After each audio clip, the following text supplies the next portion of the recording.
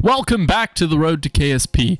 I'm here about to launch this excellent rocket, and as you can tell, um, it has drop tanks. Yes, it does have drop tanks, and uh, yeah, uh, it just seemed like a cheaper option than adding whole extra boosters, and it kind of was. It gave me all that I needed.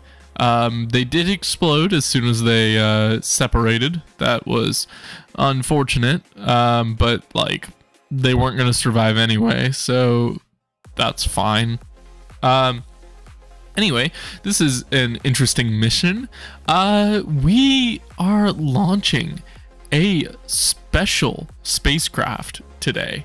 Um, and uh, yeah, basically, if you want to name it you can name it. It's uh if like literally I'll name it after the first person who comments after this video. Yeah, that's what I'll do. Uh first person who comments, I will name it after them. Uh yeah. So this is this will be the uh first craft of its name and every single craft after that will be a part of the craft this is class. So yeah. Um yeah, this is basically how it's going to go.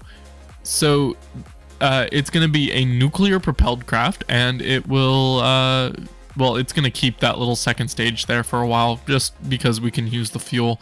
All right. Anyway, we're on a second, second launch.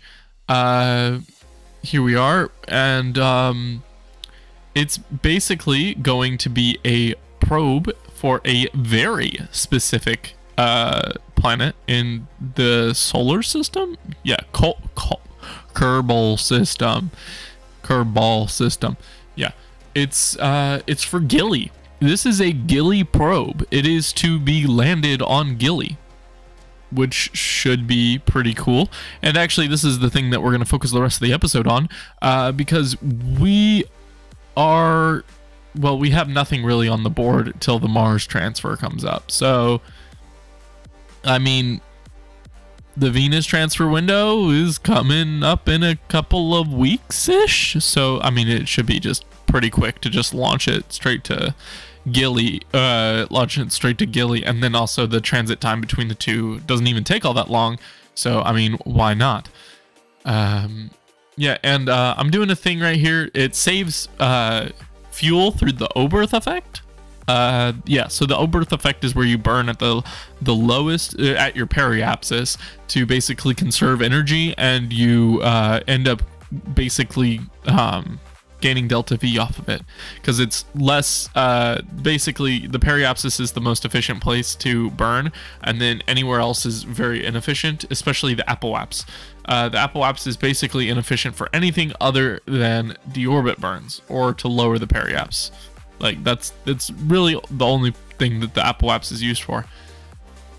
Anyway, um, we're going and we made our circularization burn and uh, we didn't really need to make the circularization burn. It's just that we are going to be uh, basically rotating for a while just a couple of months before we launch to the well to Gilly. So yeah we basically have a year till we're uh, a year and 200 and something days before we can uh, go add uh you know at Duna. So we we have that and it's most likely going to be next episode when we end up going to Duna or at least launching ourselves that way because I have a bunch of other stuff planned for once we uh, launch ourselves in that direction. I'm planning on launching more of those craft and they'll actually have names and I'll probably just name them after whoever comments else. So like yeah, full full uh everyone comment, just comment. Anything goes. Just that that like anything. Um so just any comment will work and uh yeah. Uh and yeah, you'll get a ship named after you part of this class. That's that's literally how it's going to go. Uh yeah. Well, not this class, but the the class of uh smaller, uh, more cramped, uh, like interstellar class ships. They're, uh, I'm gonna probably launch like four of them total. and uh, they'll all be doing missions simultaneously. That's like my main goal with them to just do missions simultaneously.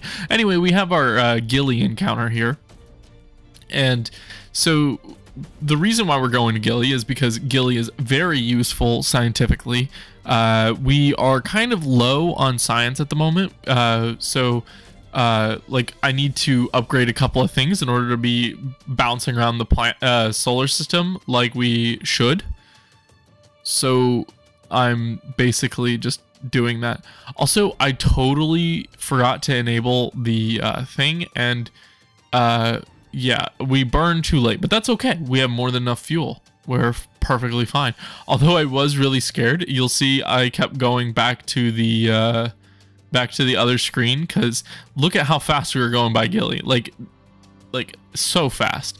Uh, this is actually only at two times speed right now. We were flying past Gilly, and I had to uh, basically do everything in my power to basically deorbit ourselves.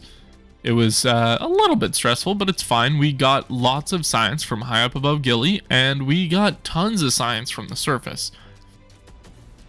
Um, uh, yeah, yeah, spoiler alert, we made it to the surface. Um, I think Gilly only has one biome. Um, I could be wrong about that. Uh, yeah, I'm pretty sure there's only one biome on Gilly. Uh, because like I don't know, Gilly's just so small.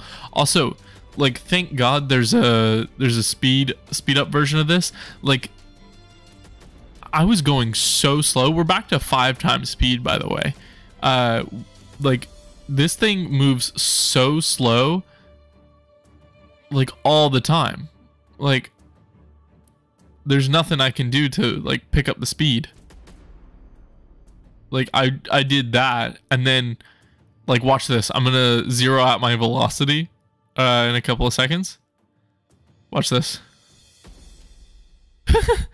I'm like floating, and that was at five times speed. It pro it probably took like ten seconds to you know land it. Anyway, that's it for today, and uh, peace out and goodbye.